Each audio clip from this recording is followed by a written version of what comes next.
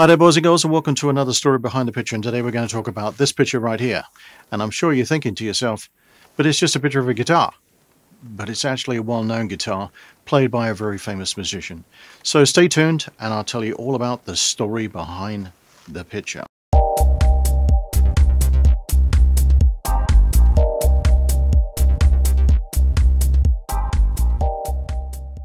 Well, welcome back. Now, this picture right here, how did I get it? What's the story behind? And is there something interesting that you can learn from this? As I tell you things that happen to me as a working photographer, that you can have a takeaway either to make something happen with your career or it's just entertaining, one of the two. But hopefully, you get something out of my story. So, let's start from the very beginning, and that is not only am I a professional photographer, but I'm also a web developer. And every once in a while, I get someone emailing me or contacting me about working on a project for them to develop a website. So it just so happened a couple of guys contacted me and they were wanting to promote this new guitar that they have, which you plug in some kind of electricity to it and uh, it zaps the wood and you've got some kind of um, zapped electric lightning bolt thing going through the wood. Um, so I thought, okay, I'll go and talk to these guys and see what they're all about. So I go over and meet with them, and we have a little chit chat and all that kind of stuff about what I can do to help put their website together for them and uh, what they want from me and all that kind of good stuff. And in the conversation, they say that one of their guitars is going to be played by this guitarist. Go, okay, well, what's the story about this guy playing the guitar? And they said, well, he's playing in this girls band and she's in this little hole in the wall on Santa Monica and it's called Gold Diggers and if you want to go up there and shoot pictures that'd be really great. So I'm thinking okay I'll go up there could be interesting I might get something from that uh, especially since it's uh, this uh, girl who's playing and she's rather nice looking and plays the lap steel guitar and she also plays the fiddle. So I'm thinking um, it could be interesting. So I got over to Santa Monica, and it takes me about a half an hour to find a parking space because if you know anything about LA, parking is premium. So eventually, I find a space, go up to the club, and I'm on the guest list, so I just go in after checking in with the guy at the door. And the club is a nice place. It's got a little dance floor in the front. The stage is pretty close, but the lighting is absolutely horrendous and you can see in this picture right here. It's horrendous. It's all purpley and everything like that, which I guess is what the video guys wanted to do for some kind of psychedelic reason. Uh, maybe it's something to do with the Jim Morrison, uh, you know, LSD thing. But there's this swirly thing in the background, uh, oil kind of thing, and as I said, it's all purpley. And during the performance of the girl who was doing the show, Andrea, uh, she actually said, "Could somebody put some light on my guitar? I can't see what I'm doing." So I'm not the only one that thought the lighting was not terrific. But heads up, if lighting is already going to be a problem, well, what else is going to be a problem? Well, usually in a small club like this, the biggest problem you have is the audience also want to take photographs. They want to steal your thunder as a professional photographer. So you got to watch out for people with their camera phones trying to get the shot just to email their friend to say, "Oh, I'm at this place and it's cool and everything else."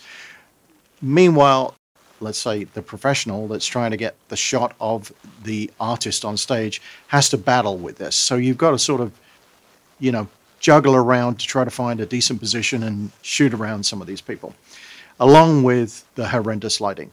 Now, sometimes when you go to a bigger concert, like I've done with some other clients, I go to a sound check first and I know exactly where I'm going to be, which is usually in a pit for the three songs, and then I'm going to walk around.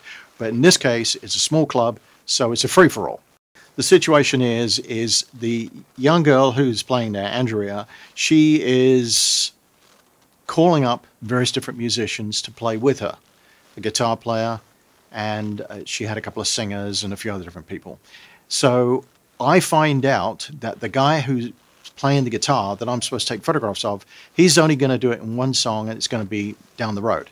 So I basically just start shooting some pictures of the band, uh, you know, the bass player, the drummer, whatever. So I'm looking at my exposures, checking what I'm doing, and looking. And whilst I'm looking at a couple of images, I happen to notice on stage that there was this SG guitar. And I thought to myself, wait a minute, I think I, I've recognized a guitar from somewhere, but I couldn't place it.